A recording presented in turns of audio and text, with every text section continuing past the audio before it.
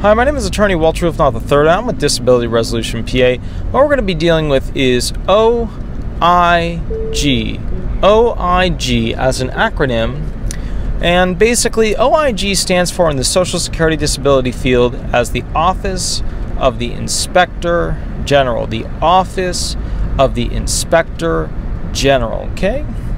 My name is Attorney Walter Rudolph Hnot the third. I'm with Disability Resolution PA, but just remember that that is the Office of Inspector General. Okay?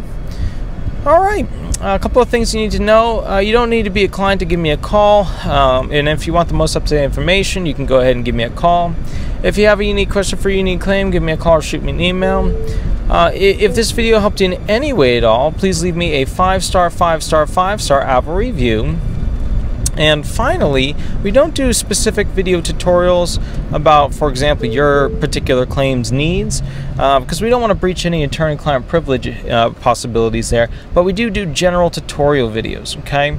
So if you're looking for something uh, specific, shoot me an email, give me a call. But if you're looking for something as a general roadway, yellow brick road to figure out what you need to do, go ahead and, uh, you know, request, hey, can you do something on this topic? And I'll be more than happy to do something on it. All right? My name is Attorney Walter, Hnot the third. I'm with Disability Resolution PA. Have an absolutely wonderful day, and we'll go from there. Thanks. Bye bye.